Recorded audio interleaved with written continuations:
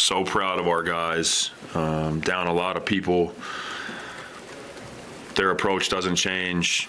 You know, we get asked questions about these games don't mean anything, but they mean something to them. Um, again, they all want opportunity. They all want to be in the NBA. They're all trying to make a name for themselves.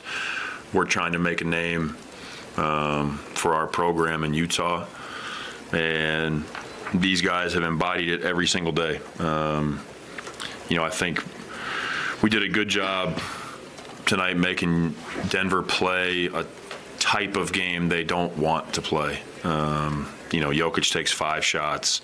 I think the zone kept him from getting a ton of touches.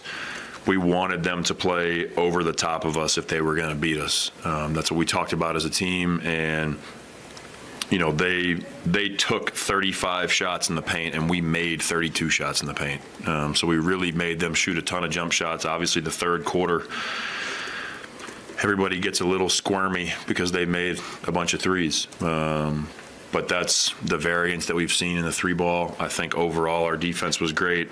You know, I think having watched enough of Denver over the course of the year, it sounds good to guard Jamal Murray and Jokic in their two-man game and man and guard the cutters and stay underneath and all that stuff sounds good in the walkthrough, but they've shown time and time again that they're elite at playing that way. And so we came into tonight's game with the mindset of we wanted to try to make them play a different style, and our guys were really committed to it. Um, ton of people stepped up tonight.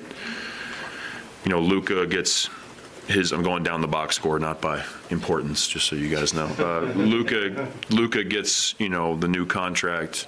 It's been in the G League for a long time. Scores 23 points, has eight rebounds tonight. Um, Doke plays 30 and a half minutes, gets 11 rebounds, really does a good job controlling the paint for us.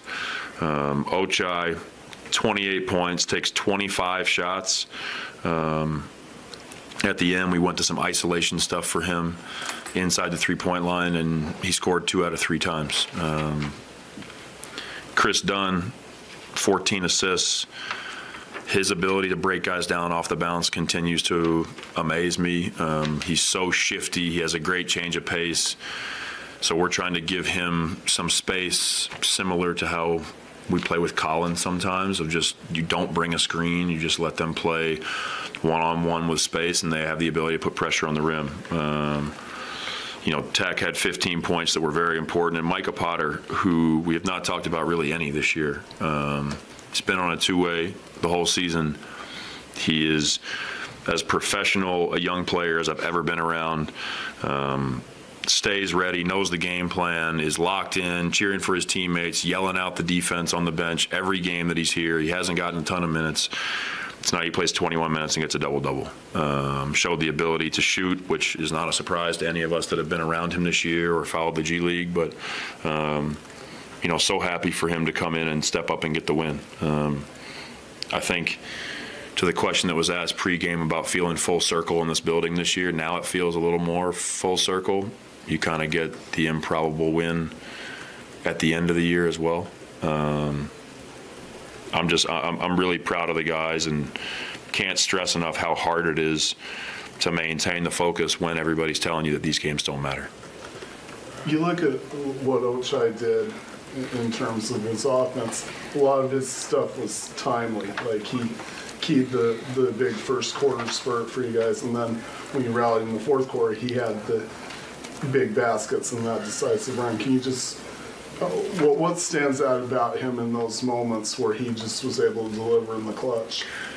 Yeah, I think we've talked some this year about Ochai's played in a lot of big games. You know, he played four years at Kansas and he won a national championship, was most outstanding player in the Final Four. Like he's played in big pressure games. Um, he just hasn't done it yet in the NBA, and so I think it's it's great to see him in those settings. You know, the goal is for him to be in playoff games moving forward and to be in those types of environments. But um, you know, coming down the end of a game as a young player and having the ball in your hands and having the ability to make decisions like you cannot simulate that in practice. We try our best as coaches to put guys in situations to replicate some of that, and just nothing will ever compare to what it feels like in an NBA arena especially this one um, coming down the stretch. And so uh, I'm, I'm really glad that he got the experience, and then it's awesome to see him deliver. Anything else? Good. Okay, thank you. Fun.